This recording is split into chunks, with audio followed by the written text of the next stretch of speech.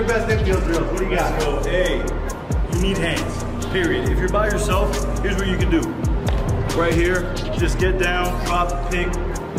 Very simple drill that's gonna allow you to really time up and, kill that boundary. I think that's super important.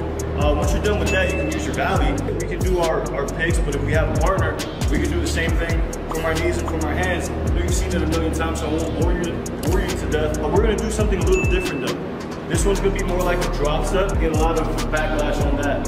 We're gonna get in front of the ball, but to be honest, we're in front of this ball. We're just at an angle, we can allow space uh, to use our hands. So I'm gonna have my partner flip the ball to me.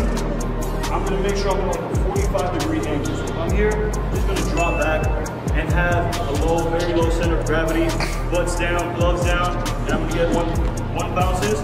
I'm just gonna work my hands and try to.